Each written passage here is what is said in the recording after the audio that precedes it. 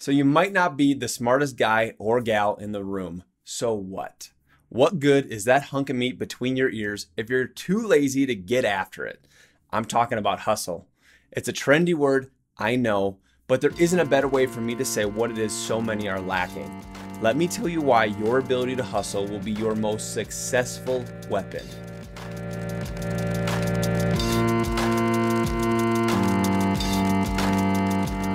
This is the last episode in a four part series about becoming what I call a unique breed. This unique breed is the individual who gets it.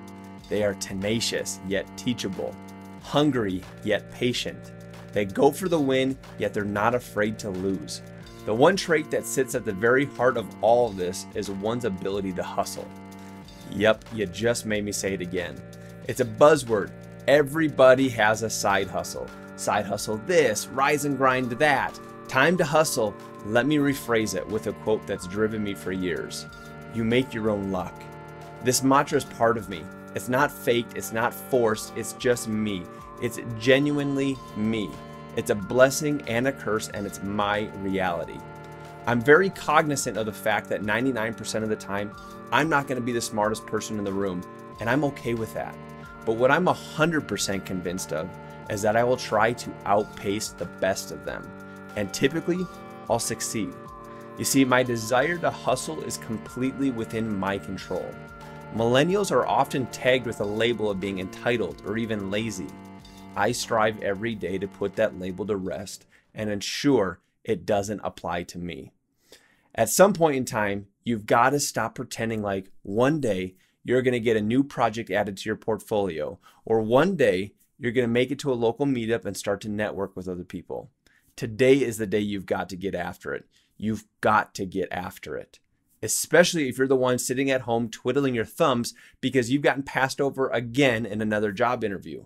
Those other candidates, I guarantee, are not making excuses of one day. You've got to get after it. Now, once you get started, I imagine at some point in time, you're going to feel discouraged. Something that will creep into your mind telling you, you know, it's time for a break.